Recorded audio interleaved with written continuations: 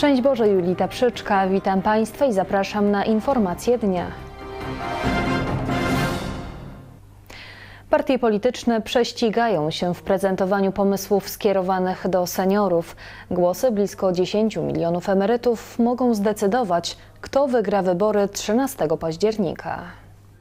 Polskie Stronnictwo Ludowe w koalicji z Kukiz 15 proponuje seniorom przede wszystkim emeryturę bez podatku. Osoby, które idą do okienka w aptece, emeryt, który idzie, czy rencista do okienka w aptece i odchodzi ze łzami w oczach, jest wstydem dla tego państwa i z tym wstydem skończymy. Wyborcy pamiętają jednak, że to lider ludowców Władysław Kośniak-Kamysz, będąc ministrem pracy i polityki społecznej w rządzie PO-PSL, doprowadził do podniesienia wieku emerytalnego. Projekt podnosi i zrównuje wiek emerytalny kobiet i mężczyzn. Ludowcy są niewiarygodni, przekonuje wicepremier Piotr Gliński. Ubrał się diabeł w ornat i na mszę ogonem dzwoni. To specyficznie dla PSL-u, myślę, dobre przysłowie. Z kolei Platforma Obywatelska proponuje seniorom emeryturę bez podatku, trzynastkę na stałe, specjalną premię dla tych, którzy przepracują 40 i 50 lat oraz czek w wysokości 1000 zł na opiekę nad seniorem. Emeryci będą na pewno zadowoleni, mówi Małgorzata Kidawa-Błońska, kandydatka Platformy na premiera. Ten program przez wiele miesięcy konsultowaliśmy z tymi środowiskami. Prawo i Sprawiedliwość zabiegając o głosy seniorów przypomina, że to rząd Zjednoczonej Prawicy doprowadził do obniżenia wieku emerytalnego i podwyższenia najniższych emerytur. Pierwsza przełomowa decyzja to było podniesienie najniższej emerytury do 1000 zł. W tej chwili najniższa emerytura wynosi 1100 zł. Ten proces będzie kontynuowany. Kolejna podwyżka 1200 minimalnej emerytury. Zapewnia wiceprezes Prawa i Sprawiedliwości Beata Szydło. Emeryci mają też otrzymać dodatkowo 13 i 14 emeryturę. Uruchomienie trzynastki będzie pierwszą decyzją nowego rządu Prawa i Sprawiedliwości po wygranych wyborach, zapewnia wicepremier Jacek Sasin. wprowadzimy e, to, to, tą trzynastą emeryturę jako ustawowy mechanizm. Na E, stałe. Na stałe. Dodatkowe świadczenie nie znalazło się w projekcie budżetu, jednak środki na pewno się znajdą, mówi profesor Zdzisław Kordel. To są zapowiedzi w kampanii wyborczej i wydaje mi się, że mają szansę zrealizowania, biorąc pod uwagę tempo rozwoju gospodarczego, tempo wzrostu produkcji PKB. Trzynasta emerytura to rozwiązanie doraźne. Konieczne są głębokie zmiany w systemie emerytalnym, mówi dr Tomasz Teluk. Tutaj nie widać żadnej reformy systemu emerytalnego, polepszenia losu emerytów. Prawo i Sprawiedliwość chce też na stałe wprowadzić waloryzację kwotową najniższych rent i emerytur. Najniższe świadczenia miałyby być waloryzowane co najmniej o 70 zł rocznie. Waloryzacja to tak naprawdę jedynie podniesienie kwoty emerytur e, o, o wartość, jaka wynika ze straty e, w wartości pieniądza. To znaczy, to jest mniej więcej wyrównanie, aby wartość e, siła nabywcza emerytur była taka sama każdego roku. Wyjaśnia politolog Konrad Gadomski. Przez lata otrzymujący najniższe świadczenia nawet nie odczuwali waloryzacji, która wynosiła często tylko kilkadziesiąt groszy. Ten, kto miał większą emeryturę czy rentę, dostawał większy e, dodatek. Na konwencji w Radomiu prezes Prawa i Sprawiedliwości przekonywał dziś, że tylko dalsze rządy Zjednoczonej Prawicy gwarantują kontynuację programu społecznego. Prawo i Sprawiedliwość jest gwarantem, że ten program będzie podtrzymany. Lider Zjednoczonej Prawicy dodał, że kontynuacja programów społecznych wymaga też utrzymania wzrostu gospodarczego Polski. W 2021 roku mogą być gotowe projekty dróg wodnych na Odrze i Wiśle.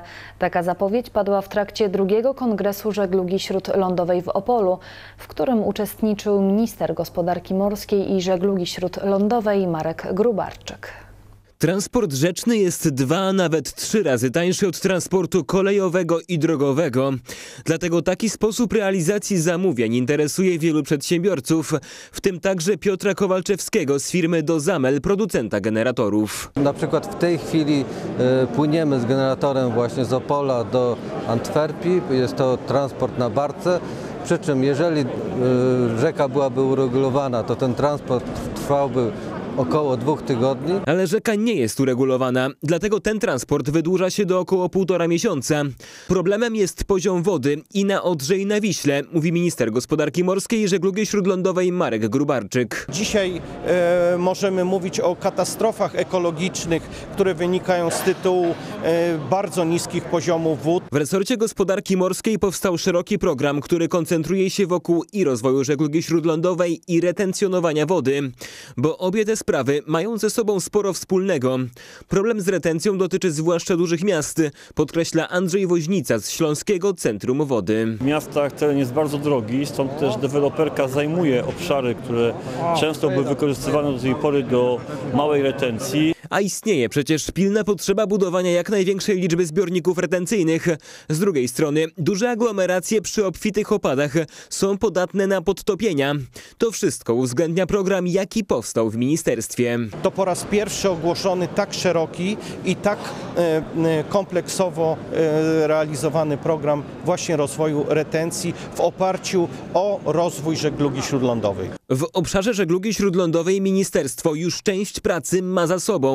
Te prace, które zostały poczynione e, w ostatnich latach, mówimy tutaj w szczególności o otwarciu zbiornika w Malczycach, zdecydowanie poprawiły, poprawiły żeglowność e, tej rzeki. Tej rzeki, to znaczy Odry. Z ust ministra Marka Grubarczyka pada zapowiedź budowania kolejnych stopni wodnych. Dzisiaj mieliśmy bardzo ważną uroczystość podpisania właśnie drugiej umowy. Pierwsza w Libiążu, druga e, dzisiaj podpisana w Ścinawie. Do podpisania umowy doszło w trakcie drugiego kongresu żeglugi śródlądowej w Opolu. Na początku przyszłego roku resort planuje przedstawić szczegółowy program budowy stopni wodnych na Wiśle. W realizacji wszystkich inwestycji pomagają samorządy, mówi pełnomocnik ministra Gabriela Tomik. I tu już mowa nie tylko o drodze wodnej, ale o całej sieci zbiorników, retencjonowania wody, y, rozmawiania o gospodarce wodnej. Tylko współpraca wielu środowisk może przynieść skuteczną politykę i reaktywację żeglugi śródlądowej. Sama żegluga może stać się silnym impulsem dla całej gospodarki. Projekty dróg wodnych na Wiśle i Odrze mają być gotowe w 2021 roku.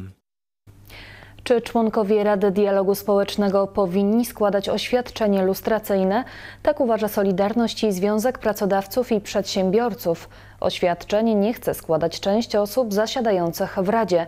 Dlatego Solidarność i Związek Pracodawców i Przedsiębiorców zwracają się do prezydenta Andrzeja Dudy o prawną interpretację w tej sprawie. Obecnie obowiązująca ustawa lustracyjna zobowiązuje wszystkich członków Rady Dialogu Społecznego do złożenia oświadczeń lustracyjnych. Chodzi o ujawnienie potencjalnej współpracy lub pracy w organach bezpieczeństwa państwa w latach 1944-1990. Składania oświadczeń lustracyjnych domagają się zarówno Związek Pracodawców i Przedsiębiorców, jak również Solidarność. Dlatego Prezydium Rady Dialogu Społecznego zwróci się w tej sprawie do prezydenta. Zwróci się do pana prezydenta y, Andrzeja Dudy, y, do kancelarii prezydenta o opinię prawną w tym temacie, a także jeżeli ta opinia prawna by była negatywna, o nowelizację tej ustawy. Problem w tym, że nie wszyscy członkowie Rady Dialogu Społecznego chcą poddać się lustracji. Rada jest instytucją zaufania publicznego i lustracja jest konieczna, podkreśla przewodniczący Solidarności Piotr Duda. Oświadczenia lustracyjne złożą wszyscy członkowie Solidarności oraz Związku Przedsiębiorców i Pracodawców zasiadający w Radzie. Część członków prezydium Rady Dialogu Społecznego nie poszła z naszą inicjatywą. A co nam szkodzi? Złożymy te wnioski już od siebie w tej chwili, nawet jak jeszcze nie ma opinii prawnej od prezydenta. W skład Rady wchodzą powołani przez prezydenta przedstawiciele pracowników, pracodawców i strony rządowej. Jak podkreśla prezes Związku Przedsiębiorców i Pracodawców Cezary Kaźmierczak, lustracja wpłynie na wizerunek Rady Dialogu Społecznego. Rada Dialogu Społecznego e, powinna e, być instytucją przejrzystą, transparentną, niepodlegającą żadnym różnym plotkom. Solidarność i Związek Przedsiębiorców i Pracodawców chcą, aby oświadczenia lustracyjne składali także kandydaci do Europejskiego Komitetu Ekonomiczno-Społecznego, instytucji unijnej wydającej opinie dla Parlamentu Europejskiego, Komisji Europejskiej i Rady Unii Europejskiej. Kandydatów wskazują m.in. strony społeczne zasiadające w Radzie Dialogu Społecznego.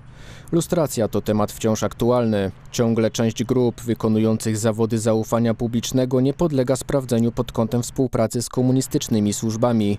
Pierwszą ustawę lustracyjną przyjęto w 1997 roku. Obecną w 2006 roku podpisał prezydent Lech Kaczyński. Poszerzyła ona grono osób objętych lustracją, co zakwestionował Trybunał Konstytucyjny.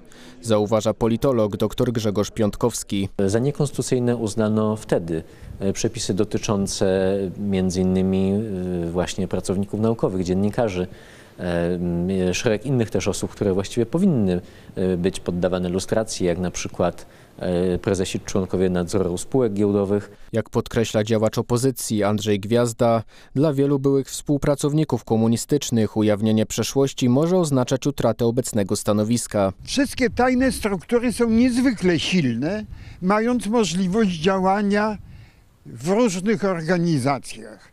I ta siła znika natychmiast ze zniknięciem tajności. Głównym zadaniem Rady Dialogu Społecznego jest prowadzenie działań w celu zapewnienia właściwego rozwoju społeczno-gospodarczego oraz zwiększenia konkurencyjności polskiej gospodarki.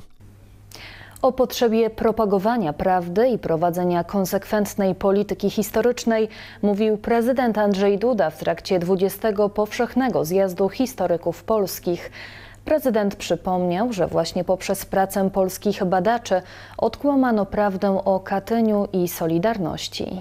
Tysiące ludzi każdego roku na Marszu Niepodległości idących pod biało-czerwoną flagą to właśnie zasługa polskich historyków, podkreślał prezydent Andrzej Duda. Historia ma fundamentalne znaczenie wspólnototwórcze, historia ma fundamentalne znaczenie państwowo-twórcze.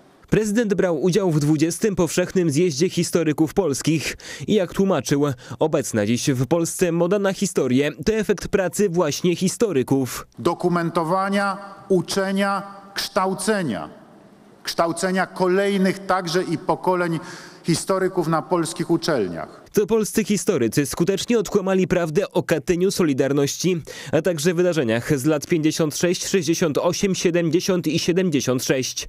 To pozwoliło przetrwać trudne lata 90., kiedy próbowano podważyć sens historii, sens tego, by pamiętać, mówił prezydent.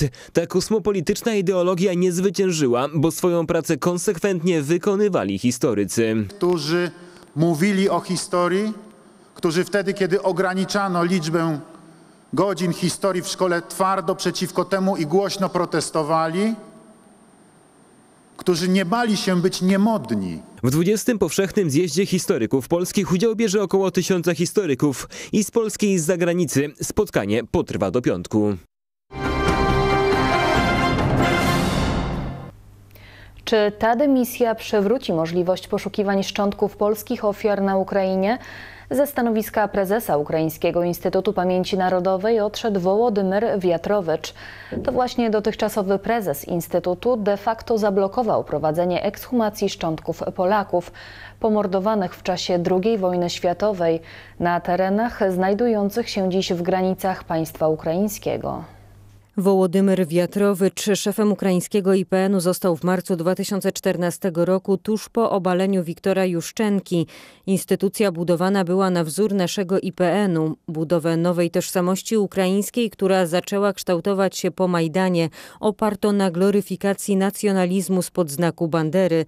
Nic więc dziwnego, że szybko nowej władzy zaczęło przeszkadzać prowadzone na Ukrainie przez polski IPN poszukiwanie szczątków polskich ofiar nacjonalizmu ukraińskiego. Pretekstem do wstrzymania prac poszukiwawczo-ekshumacyjnych był demontaż pomnika UPA w Chruszowicach koło Przemyśla.